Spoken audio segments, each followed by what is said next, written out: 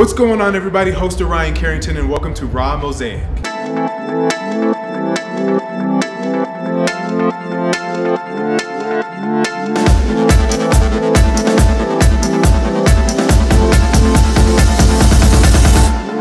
am Mackenzie Clark and I am in the category of fashion and design.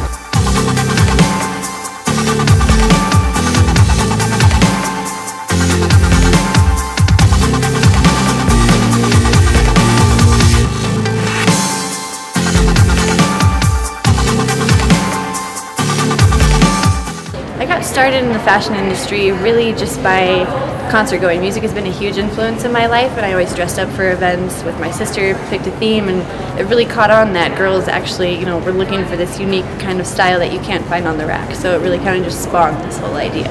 So a typical day for me in my studio consists of, you know, executing certain themes or events that are going on. It kind of depends on what orders I've got, but I always try and take the time to find, you know, spark interest in a new line or try creating something else.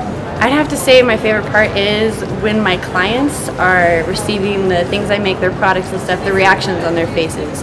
Empowering women and giving them that confidence when they put something on, you immediately see them light up and start shining. I think that's really the most rewarding experience of what I do.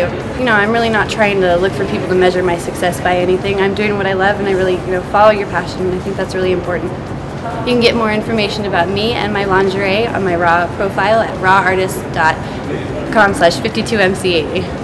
My name is Mackenzie Clark and I'm a Raw artist.